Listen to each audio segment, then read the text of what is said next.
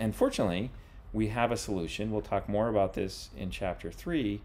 This notion that neurons actually have graded responses to inputs.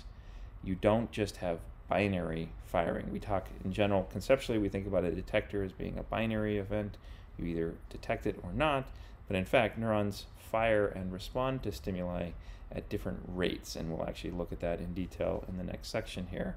Um, and so that graded response allows a much more efficient encoding of information. We only have three different detectors in our retina. We have uh, a very long wavelength, a medium wavelength, which is so the long wavelength, wavelength is red, medium wavelength is green, and in fact, interestingly, if you look at the real data, these things are really, really close together in the kind of frequency dimension. And then you have a short wavelength, which is the blue. And so with only three, you can actually encode an entire continuous dimension. I think of it as fighting combinatorics with combinatorics. So you take a problem and you represent, you come up with a combinatorial code, a very efficient way of representing this overall uh, dimen- continuous dimension through combinations of these basic detectors. So a particular shade of in between red and green, which is going to be some version of yellow, um, that will uh, be a particular rate of firing of each of those guys. Okay, so that's what we need to think about when we're thinking about our detectors. They're not just like single binary detectors, they're really kind of carving up the world into these kind of graded domains and encoding, say, some part, some region of that space. And in fact, a way we can think about that is in the language of linear algebra. Some of you may have experience with linear algebra, some of you may not.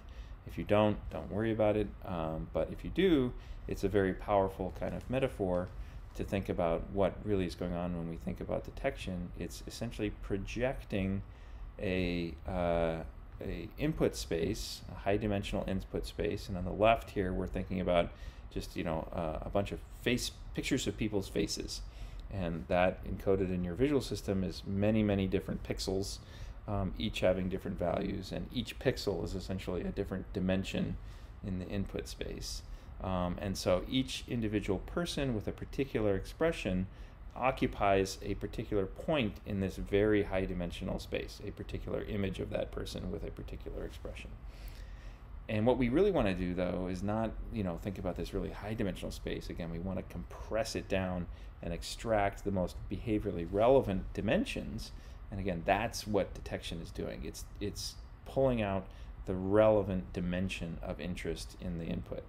And so you'll see in chapter three, when we go through the face categorization model, that this particular weight vector, we'll talk about weights in a second, the synaptic inputs uh, into a neuron um, filter this high dimensional space and essentially project that high dimensional uh, set of inputs onto a new dimension, a new basis for representing that that high dimensional space. And so you can think about this as a vector space. This is a particular dimension or basis function that's you're projecting that space onto. And as you can see here, when you do that, it separates out the happy faces on the top of this display separate from the sad faces on the bottom of the display and that is you know really very useful for uh, relating to different people understanding what kind of state they're in having that ability to represent happy versus sad regardless of what person who you're looking at what their gender is etc just having a, a, kind of common canonical uh, representation of emotion is extremely useful. And then in this particular example the x-axis is actually representing uh, whether they're female or male in appearance, um, so the gender dimension, um, and so the same principle applies there. And so you can basically rotate um, this original space of pixels into a much more useful, organized, structured space that is detecting behaviorally relevant dimensions through this mathematical process of projecting through the weight vector. And that's another way of thinking about what a uh, neuron is doing in the brain. And it's a more kind of continuous way of thinking about the detection process um, rather than this kind of discrete, is it there or not? It's more continuous, like transforming the input space into a different rotation of that high dimensional space um, onto axes or dimensions that are much more behaviorally relevant. So that's a different way of thinking about it.